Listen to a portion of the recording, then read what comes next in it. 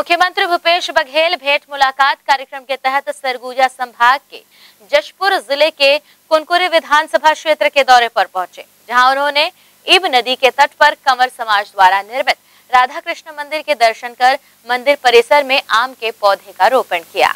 मुख्यमंत्री भूपेश बघेल कुनकुरी विधानसभा के ग्राम पमशाला में भेंट मुलाकात कार्यक्रम के दौरान किसानों, मजदूरों और अन्य योजना के लाभान्वित हितग्राहियों से बातचीत कर हाट बाज़ार क्लिनिक योजना के बारे में जानकारी ली। मुख्यमंत्री भूपेश बघेल ने कहा कि अच्छी पैकेजिंग और प्रोसेसिंग से लघु वनोपजों का मूल्य वर्धन हो रहा है।